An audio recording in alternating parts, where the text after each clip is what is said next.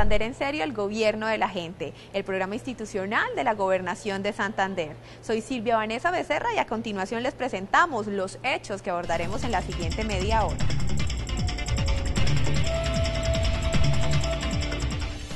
Con rectores de universidades públicas y privadas, creado comité de expertos en educación en Santander para formular proyectos de ciencia y tecnología y aumentar cobertura en educación superior. Atacar el hurto de celulares, el microtráfico y la microextorsión serán las prioridades de la Policía Nacional en Santander con el Plan Integral Policial para la Seguridad del Ciudadano. Inversión de 90 mil millones de pesos hará la gobernación de Santander en el municipio de Florida Blanca en los próximos tres años. La mitad de los recursos serán para el Cerro del Santísimo. A finales de octubre sería declarado el páramo de Santurbán como parque regional natural con exclusión de actividades mineras. Desde el pasado viernes 12 de octubre está normalizado el servicio de banco de sangre del Hospital Universitario de Santander, luego que el INVIMA levantara la suspensión. Campesinos del Carmen de Chucurí denuncian que las minas de carbón contaminan corrientes de agua que nacen en el Cerro de los Andes, afectando a cerca de 500 familias. Eymar Carrillo Cala, estudiante de la vereda Olla Negra de Ato, ganó el primer Festival Internacional Infantil de Poesía realizado en Medellín. La formulación de proyectos de ciencia y tecnología para ser ejecutados en Santander tendrá el apoyo de las universidades del departamento. Así se acordó en reunión que sostuvo el gobernador Richard Aguilar con los rectores de estos centros de educación superior. Con la participación de 11 rectores de las universidades de Santander se conformó el Comité de Expertos en Educación en reunión realizada en el Palacio Amarillo en Bucaramanga cuya primera tarea será definir qué nuevas iniciativas en ciencia y tecnología podrán ser costeadas con regalías. Y segundo, una solicitud que les hice respetuosamente es que nos dieran cupos para los muchachos de estrato 1, 2 y 3 para que tengan acceso a la universidad, a la educación superior. La gobernación de Santander también pidió el concurso de las universidades públicas y privadas para mejorar la calidad académica en primaria y secundaria. Se habló de un programa para mejorar la calidad académica desde primaria y bachillerato. Eh, con el auxilio de las universidades, que me parece que puede ser fundamental. Como Universidad Pontificia nos comprometimos a formar parte de un equipo institucional que va a colaborar en la elaboración de proyectos ante conciencias. Además de las becas y créditos condonables que ofrecen algunas universidades, se busca que en algunos casos sea gratuita la matrícula en instituciones como las unidades tecnológicas de Santander, para que este departamento se consolide así como el de mayor cobertura en educación superior en el país. Todos con corazón verde. Este es el mensaje que ahora promueve la Policía Nacional en Santander y en el país para buscar un mayor apoyo ciudadano en su propia seguridad. El nuevo plan fue lanzado en el Parque del Agua de Bucaramanga. Atacar el hurto de celulares, el microtráfico y la microextorsión serán las prioridades de la Policía Nacional de Santander con el Plan Integral Policial para la Seguridad del Ciudadano en el que espera más apoyo de la comunidad. Generar efectivamente procesos que ayuden a sintonizarnos más en los buenos resultados frente a la seguridad ciudadana y le evitemos a los colombianos muchas de las dificultades que hoy se viven. Durante el lanzamiento de este plan, el gobernador de Santander, Richard Aguilar, les pidió a los diputados presentes apoyar la consecución de 60 mil millones de pesos para darle más seguridad a los santanderianos con cámaras de seguridad, patrullas y más fuerza pública. Yo creo que esta política que se está implementando de seguridad con la Policía Nacional para que tengamos paz, tranquilidad y convivencia ciudadana va a ser un éxito siempre y cuando colaboremos todos. Este es el mensaje de la policía con el nuevo plan de seguridad ciudadana.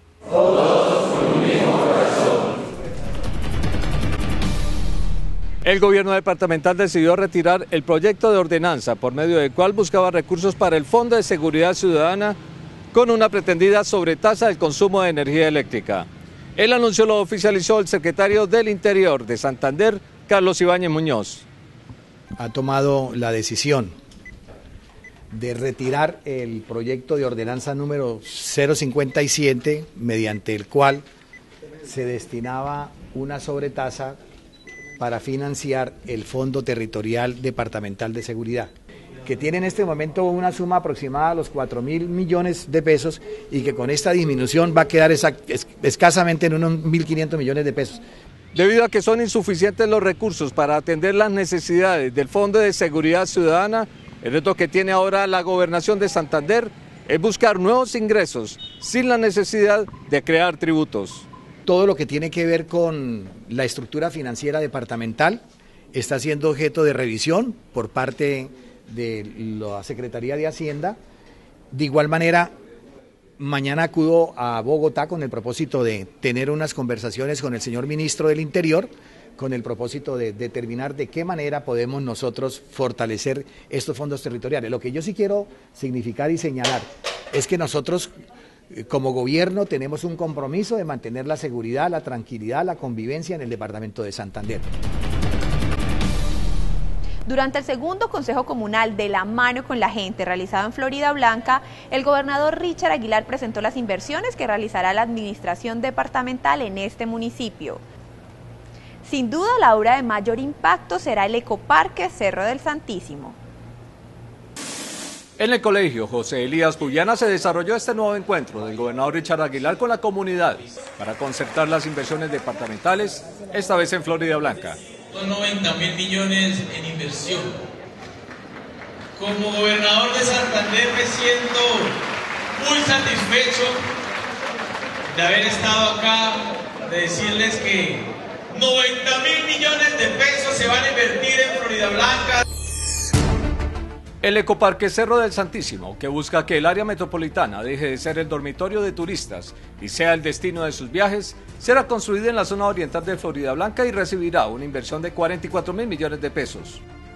Este proyecto va a generar riqueza, competitividad, va a poder absorber la demanda de los 10 hoteles que se están construyendo en el área metropolitana, va a generar 1.200 empleos ya tiene asegurados 35 mil millones de pesos provenientes de regalías. Los recursos restantes serán entregados el próximo año. Yo creo que esta obra va a pasar a la historia no solamente en Florida Blanca, sino en el departamento de Santander. Al Consejo Comunal de Florida Blanca, en el que fue presentado este macroproyecto, asistieron congresistas, diputados y autoridades locales. Bienvenido este proyecto para Santander, para Florida Blanca, para el área metropolitana. Quiero felicitarlo por esa gran noticia. Líderes comunales y habitantes de la vereda se declararon en expectativa frente a la ejecución de la obra. Entonces la expectativa, como nos la dijo aquí nuestro, nuestro gobernador, es la fuente de trabajo para todos los estudiantes, para todas las personas que de residentes en la vereda. Según el asesor de macroproyectos de la Gobernación de Santander, Carlos Fernando Sánchez, el ecoparque empezaría a construirse en noviembre próximo. Además de este macroproyecto turístico, los habitantes de Florida Blanca serán beneficiarios de otras obras que ejecutará la gobernación en lo que resta de este año y en 2013. Veamos ahora qué otras inversiones fueron anunciadas durante el segundo Consejo Comunal de la mano con la gente. De los 90 mil millones de pesos anunciados por el gobernador Richard Aguilar para inversión en Florida Blanca, la tercera parte de los recursos se destinarán para construir el nuevo hospital de este municipio. Estamos invirtiendo 13 mil millones. Este año, el próximo año vamos a invertir 21 mil millones. En total 34 mil millones haremos lo que decía el secretario de unir la UANE con el hospital.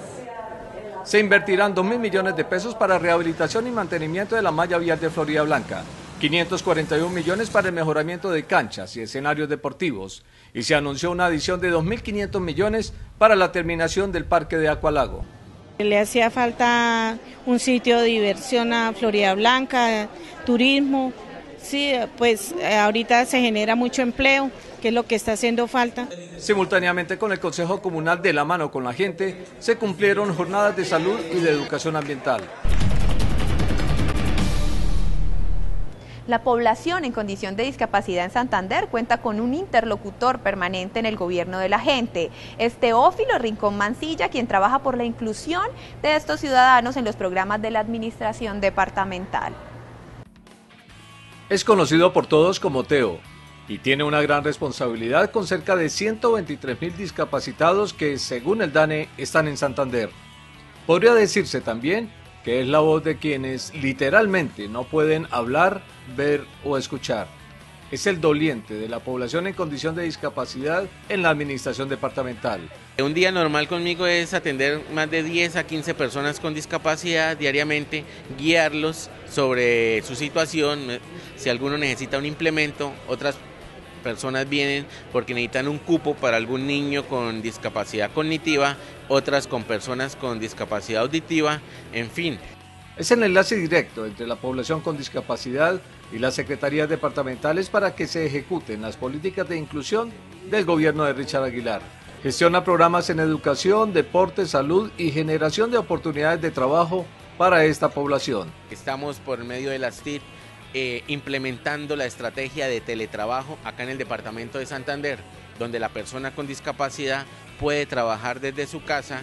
Estas mismas tecnologías le sirven a Teófilo Rincón para atender a los discapacitados que no pueden trasladarse al Palacio Amarillo por sus limitaciones o porque viven en provincia. Estamos en Santander en serio, el gobierno de la gente. Ya regresamos.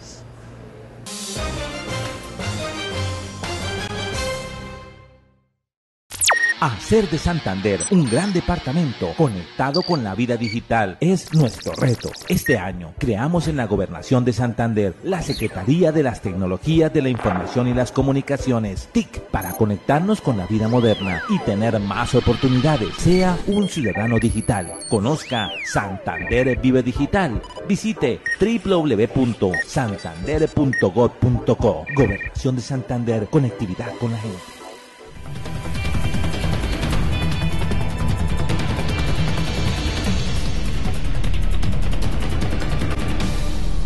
La Corporación Autónoma Regional para la Defensa de la Meseta de Bucaramanga podría declarar a finales de octubre el páramo de Santurbán como Parque Regional Natural. Así lo anunció su directora Arley Anaya Méndez en el cierre del aniversario 47 de la entidad. Una vez el Instituto Von Humboldt presente a la CDMB la delimitación del área a proteger en el páramo de Santurbán, se reunirá el Consejo Directivo de esta autoridad ambiental para aprobar la declaratoria que sería antes de dos semanas. Así serán protegidas 11.000 hectáreas que serán excluidas de la minería porque forman parte del complejo lagunar del páramo de Santurbán, donde nacen las corrientes que abastecen de agua a un millón de habitantes de Bucaramanga, Florida Blanca y Girón. Después de varias reuniones, eh, tenemos conocimiento de que al seno del, Instituto von Humboldt eh, la propuesta cuenta con todos los requisitos para que en este mes sea llevada a Consejo Directivo y se imparta de una vez por todas la declaratoria de Parque Natural Páramo de Santurbán. La delimitación permitirá además definir las restricciones que tendrán las empresas mineras para ejercer su actividad en la zona. Otro anuncio hecho por el director de la CDMB es que esta autoridad ambiental hará un monitoreo a las corrientes que desembocan en el río Suratá que abastece al acueducto metropolitano de Bucaramanga. Instaurar eh, lo que va a ser un observatorio eh, para calificar eh, la garantía del, del, agua de nuestro recurso hídrico. Con ocasión de los 47 años de la CDMB, el Congreso de la República le impuso la Orden de la Democracia Gran Comendador y la Gobernación de Santander la Orden Aquileo Parra en la categoría Oro. Caficultores del municipio de Florida Blanca contarán con plantas más resistentes a la roya. Esta y más informaciones en el siguiente recorrido por el área metropolitana de Bucaramanga. Desde el pasado viernes 12 de octubre se normalizó el servicio del Banco de Sangre del Hospital Universitario de Santander en Bucaramanga luego que el INVIMA levantara la suspensión que había ordenado. Uno de los primeros donantes tras la reapertura fue el propio gerente de Luz, Eymar Sánchez. Lo que le quiero decir a la comunidad santanderiana es que este es un banco de sangre seguro, tiene los profesionales idóneos para esto, los equipos idóneos también, lo cual da seguridad y nos ayuda a que nuestro banco de sangre sea uno de los mejores del nororiente colombiano. El banco de sangre de Luz estaba suspendido desde el 30 de mayo pasado, luego de la visita de inspección del INVIMA que encontró supuestas fallas de tipo administrativo. Los que estaban en dificultad son algunas encuestas que estaban no completamente diligenciadas, algunos semáforos en reactivos que no estaban funcionando y las pruebas confirmatorias que no estaban contratadas y que hasta ahora están siendo reglamentadas por parte del Instituto Nacional de Salud. El Banco de Sangre del Hospital Universitario de Santander empezó a normalizar desde el mismo viernes pasado su disponibilidad de unidades sanguíneas con donaciones voluntarias. El hospital universitario aproximadamente necesita en 24 horas 80 unidades y el promedio de donaciones eh, diarias es aproximadamente de 35 donaciones para un total mensual aproximadamente de 1.100 unidades. El coronel cartagenero Octaviano Bustillo Barraza asumió el mando de la quinta brigada del ejército en reemplazo del coronel Luis Felipe Montoya, quien fue designado a realizar curso de ascenso a brigadier general. Dedicaré toda la vitalidad y experiencia de soldado con el único propósito de acertar en el cumplimiento de la misión asignada. Ustedes han ganado un lugar en la historia de esta lucha. Han escrito una página más del libro de la Quinta Brigada. En la ceremonia de transmisión de mando realizada en el campo de paradas del batallón Caldas, el comandante de la segunda división del ejército, brigadier general Juan Pablo Maya, impuso la medalla militar fe en la causa al gobernador de Santander, Richard Aguilar, el alcalde Luis Francisco Borges y al comandante de la Policía Metropolitana de Bucaramanga, brigadier general José Ángel Mendoza. Cafetales de mejor calidad y resistentes a la roya podrán tener 20 familias campesinas de Florida Blanca que recibieron semillas tipo exportación de la Secretaría de Agricultura de Santander y de la Federación Nacional de Cafeteros en el Consejo Comunal de la mano con la gente que se realizó en ese municipio. Tiene la particularidad de que es resistente a la roya. Y usted sabe que la roya nos dio muy duro a los cafeteros el año pasado y entonces estamos cambiándonos a una variedad más resistente. Arreglos a salones comunales, canchas, juegos infantiles, seguridad y puentes peatonales son las principales necesidades que presentaron los presidentes y ediles de las comunas 6 y 16 de Bucaramanga y que ahora deben priorizar para ser viabilizadas por el gobernador Richard Aguilar. Nos vamos a reunir ahorita en la MAC, en la Asociación de Juntas, los de la Comuna 6, para poder determinar y priorizar las obras macro que queremos para nuestra, toda, toda nuestra comunidad. Con la Comuna 14 se terminan las reuniones con presidentes de las juntas de acción comunal y ediles de Bucaramanga para empezar con los directivos comunales de los demás municipios de Santander. Las quebradas El Macho, La Calavera y La Iglesia son los tres afluentes en los cuales la Corporación Autónoma Regional para la Defensa de la Meseta de Bucaramanga adelanta un trabajo piloto para lograr junto a la comunidad la recuperación de la franja de protección y el control de vertimientos tanto industriales como residenciales. Hay disposición inadecuada de basuras, eh, conexiones erradas a través del sistema alcantarillado público que nos generan contaminación de la corriente, ocupación de la franja de aislamiento. Una comisión de 20 personas conformada por representantes de la comunidad, policías ambientales y funcionarios de la CDMB visitó por segunda vez en menos de 20 días el cauce de la quebrada El Macho para realizar el inventario de problemáticas que deben ser abordadas por las autoridades. El 65% de los colombianos están bancarizados y si bien la cifra está en aumento, los hábitos de muchos usuarios no son los mejores. Por eso se adelanta por estos días una campaña de educación financiera en el área metropolitana de Bucaramanga. No ahorrar y estar sobreendeudado son dos de los peores errores que puede cometer una persona en el manejo de las finanzas según los expertos. Sin dinero en reserva, no hay cómo salir de la crisis en un periodo de vacas flacas y sin una buena planificación del crédito, una persona puede resultar enculebrada con bienes o servicios no prioritarios. Con el crédito, preferiblemente debe ser productivo y uno tiene que administrar muy bien qué es lo que va a pagar y a cambio de qué. ¿no? Y ese es otro elemento en el que a veces no planificamos suficientemente como consumidores financieros. Otro consejo, no gaste más de lo que gana y evite asumir deudas que no pueda pagar. Si uno es responsable, tiene los ingresos, también se puede endeudar sin ningún problema, siempre y cuando tenga, por supuesto, la forma de pagarlo y hacer un desarrollo de vida responsable y coherente. El portal finanzaspersonales.com.co está lleno de consejos para el buen manejo de su dinero. Y recuerda que las finanzas sanas en el hogar empiezan con un presupuesto doméstico. Es decir, hacer una lista de las necesidades diarias o mensuales para saber en qué está malgastando el dinero y en qué aspectos puede reducir sus gastos y sugiere unos topes. 30-35% de los ingresos en la cuota hipotecaria o el arriendo, hasta el 20% en alimentos, hasta el 19% en transporte, no más del 7% en ropa y servicios, 5 a 9% en salud, hasta 6% en diversión y del 2 al 10% en ahorros. Orientaciones similares se entrega gratuitamente por estos días una entidad financiera en el área metropolitana de Bucaramanga a funcionarios de la Gobernación de Santander y ciudadanos en general, con este bus dotado de software educativo. Es importante que conozcan no solamente eh, bueno, los argumentos, requisitos y demás temas que deben saber, sino también aquellos aspectos claves en seguridad que deben conocer para prevenir eh, ante cualquier situación que los pueda afectar. Estamos en Santander en serio, el gobierno de la gente. Ya regresamos.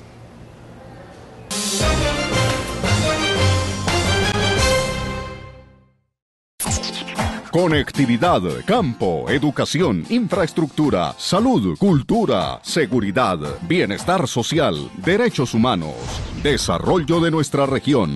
Porque es el tiempo de la gente. Gobernación de Santander.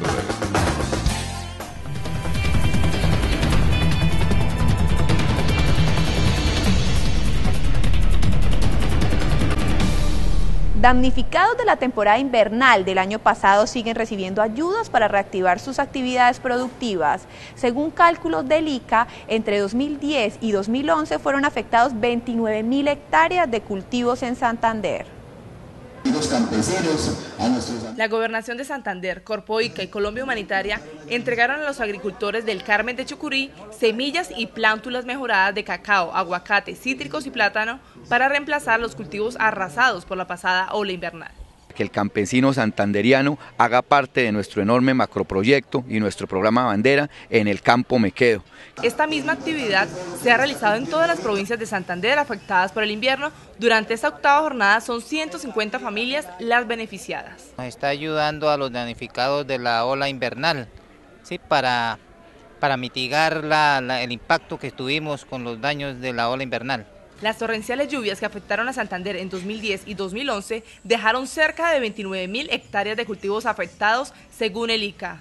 Para seguir ayudando al sector agropecuario, la Secretaría de Agricultura del departamento tiene tres programas. Primero, reforestación con parcelas demostrativas bajo el sistema silvopastoril con el fin de prevenir problemas de erosión y deslizamientos y asimismo proteger macrocuencas abastecedoras de acueductos. Segundo, implementación de granjas integrales autosuficientes y sostenibles para los jóvenes rurales. Tercero, apoyo a ferias agropecuarias. Vamos a un recorrido por las ocho provincias de Santander para conocer, entre otras informaciones, a qué conclusión se llegó en la reunión de los alcaldes de los municipios que forman parte de la transversal del cacao con el gobernador Richard Aguilar Villa. El microtráfico de estupefacientes es la principal amenaza a la convivencia en San Gil la provincia de Guarentá, según se analizó en el Consejo de Seguridad que presidió el gobernador Richard Aguilar en la capital turística de Santander. Si vienen de Barbosa, llegan a San Gil o de San Gil van a Barbosa y se está generando un corredor entre Barbosa y San Gil. Ya lo hemos identificado, estamos ahí realizando operativos, muchas operaciones de inteligencia, operaciones que no podemos sacar a la luz pública. La policía hará además un mayor control a los turistas extranjeros que visitan a la provincia de Guarentá. Esto es un centro turístico importante para el departamento, pero igual debe ser también de control de turistas. ¿Qué, turistas vienen acá? Si el turista viene a consumir estupefaciente o viene verdaderamente a, a divertirse. Si ¿Qué clase de turista viene si tiene algún antecedente? El gobernador de Santander anunció la inversión de 300 millones de pesos para instalar 30 cámaras de seguridad en San Gil. El gobernador de Santander, Richard Aguilar, entregó al servicio de la comunidad de Sotonorte la pavimentación de 3.9 kilómetros de la vía Matanza-Suratá e inspeccionó el avance de la construcción de un muro en Gaviones que construye la CDMB. En la capital de esta provincia también observó el avance de la construcción de las nuevas instalaciones del Hospital San Rafael que atiende a 15.000 usuarios de esta región. A solicitud del gerente de esta empresa social del Estado, Javier Villamizar, se comprometió con una inversión adicional de 498 millones de pesos para poner en funcionamiento los equipos biomédicos con la adquisición de una subestación de energía, el área para la instalación de la planta eléctrica, las adecuaciones del cuarto de rayos X y el parqueadero para las ambulancias. Unas necesidades que son muy importantes para este hospital para que pueda operar como debe ser y prestar servicios a la provincia de Sotonorte, como lo es a municipios cercanos como es Charta, Suratá, California y obviamente Matanza. Los municipios del Carmen de Chucurí, La Paz, San Vicente de Chucurí, Santa Elena de Lopón y Simacota recibirán 20 mil millones de pesos de la Gobernación de Santander para mejorar sus vías secundarias y terciarias y pavimentar las prioritarias. Una de las vías que serán intervenidas es la llamada transversal del cacao, que une a sus municipios y los corregimientos de San Juan Bosco La Verde, Laragua y El Gualilo. Y hemos luchado durante muchos años para ver estas vías en buenas condiciones. Y ahorita con estos recursos que se van a invertir en algunos sectores va a haber pavimento y en otros sectores va a haber mejoramiento. El gobernador Richard Aguilar recordó a los mandatarios locales que la administración departamental adquirirá próximamente dos bancos de maquinaria para cada una de las ocho provincias de Santander para el mantenimiento permanente de sus vías. Sabemos que estas son vías de difícil acceso, allá no llegan carros actualmente y con estos kits eh, de maquinaria de manera permanente nos va a garantizar de que al menos la gente tenga cómo sacar sus productos. Al entregar ayudas humanitarias en San Vicente de Chucurí, el gobernador Richard Aguilar reiteró su compromiso para gestionar los subsidios para construir 146 viviendas a igual número de familias damnificadas del invierno. Además, anunció la inversión de 21 mil millones de pesos para el mejoramiento de las vías de acceso de la cabecera municipal, la masificación del gas en el corregimiento de Yarima, la remodelación del parque principal, la adecuación de la plaza de mercado y la construcción de un polideportivo. Estaremos el 18 de noviembre realizando el Consejo Comunal de la mano de la gente, con la mano de la gente, y estaremos nosotros el 8 de noviembre también aquí en las ferias disfrutando con ustedes. Damnificados del más reciente vendaval ocurrido en el Playón también recibieron ayudas humanitarias del gobernador Richard Aguilar, entre ellas materiales para reconstruir sus viviendas, tanques de agua, colchonetas, kits de aseo y de cocina. Los elementos provienen de la Unidad Nacional de Gestión del Riesgo y de la campaña Ayudemos a Santander. Sinceramente el señor gobernador nos ha tratado con muchísima, de verdad, eh, beneficio para nuestro municipio porque eh, en, en nueve meses que llevamos ya nos ha brindado una gran cantidad de millones de pesos en diferentes obras. El impacto negativo de las minas de carbón al medio ambiente es el tema que más preocupa a los habitantes del Carmen de Chucurí. Así lo expresaron en un foro en el que participó la Corporación Autónoma Regional de Santander. En la discusión abierta sobre los problemas ambientales de este municipio de la provincia de Mares, los campesinos denunciaron que cerca de 500 familias se están afectando con la contaminación de las corrientes de agua que nacen en el Cerro de los Andes por la extracción incontrolada de carbón. Por los lados de Angosturas, por los lados del Porvenir, tenemos dos socavones donde se está, se está sustrayendo el carbón por túneles cosa que nos está perjudicando estas regiones. La directora de la CAFLOR, María Rangel, anunció una investigación sobre el impacto ambiental de estas minas. Hay algunas inconformidades relacionadas al, al manejo de la licencia ambiental, que no se le ha hecho seguimiento a los compromisos que ha adquirido la empresa para mitigar eh, los daños causados en la explotación del carbón. La empresa de servicios públicos del Carmen pidió a la Corporación Autónoma Regional de Santander ayuda para buscar un nuevo sitio de disposición final de residuos sólidos, ya que el existente fue cerrado por esta autoridad ambiental por contaminación. Es el apoyo mm, para conseguir para la compra del predio. Em, el apoyo para hacerlo del estudio de la del clausura y posclausura del botadero a cielo abierto, en el foro ambiental en el Carmen se aclaró ante la comunidad qué competencias tienen el ICA y las corporaciones autónomas regionales frente a los permisos de aprovechamiento y comercialización de madera. El ICA solamente va a expedir los, los salvoconductos y los permisos de movilización a las plantaciones que estén debidamente registradas, que sean plantaciones que se hayan hecho por la mano del hombre y con un objeto de comercialización. La directora de la casa anunció que habrá suministro de material vegetal para establecer viveros en el Carmen y la apertura de una oficina de esta autoridad ambiental si lo autoriza el Consejo Directivo. Nada más nostálgico que un atardecer, experiencia que ha inspirado a muchos artistas para sus creaciones plásticas y literarias. Y una puesta de sol imaginaria sin lugar para la tristeza fue la que inspiró a un niño santanderiano para escribir una poesía que acaba de ser premiada en un festival internacional. Al caer los rayos del sol, le llega la tarde al día y las gotas de un sereno anuncian la noche fría. Así es el atardecer de Eymar Camilo Galvis, el que observa desde la ventana de su casa en la vereda Olla Negra de Ato. Y el búho como un santo se integra a la sinfonía. Y así describe en palabras lo que percibe en el campo. Con esta narración poética, a sus nueve años acaba de ser exaltado en Medellín en el decimoprimer Festival Internacional Infantil de Poesía, premio que ofreció personalmente al gobernador Richard Aguilar junto con la persona que ha orientado su inspiración, su profesora. El acompañamiento del docente es muy importante para ellos, para motivarlos, porque ellos tienen mucho talento. Lo que pasa es que falta como una chispita ahí para que ellos empiecen. Es el resultado de un programa de la Secretaría de Educación de Santander dirigido a las comunidades educativas del departamento para estimular la creación poética. Me gustó participar porque ahí le dan la oportunidad de uno de inspirarse. Junto con Eymar Camilo, 14 niños más fueron seleccionados para el encuentro de septiembre pasado, de países como Brasil, Colombia, Japón y México, entre 100 finalistas. Y así llega otra noche, otra noche y otras más que he visto por mi ventana cuando me voy a acostar.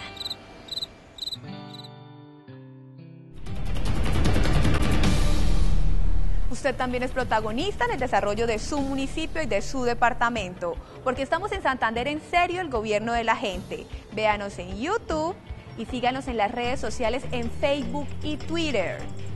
Podrá ver la retransmisión de este programa en los canales comunitarios de Santander y los miércoles a las 10 de la noche en el canal TRO. Los esperamos el próximo domingo a las 9 de la noche en la televisión regional del Oriente.